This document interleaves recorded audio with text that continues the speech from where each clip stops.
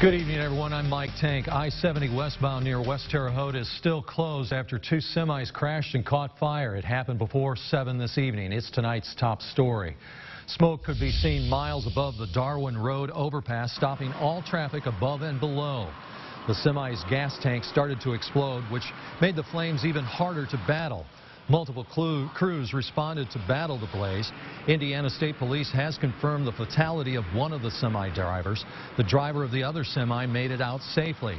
Officials are now trying to reconstruct the accident to make sure there wasn't another person in the semi with the fatality. A bridge inspector from INDOT will inspect the Darwin Road overpass due to the fire damage. I've got a bridge inspector coming out and checking to see if the bridge is being able to be used on top of Darwin Road.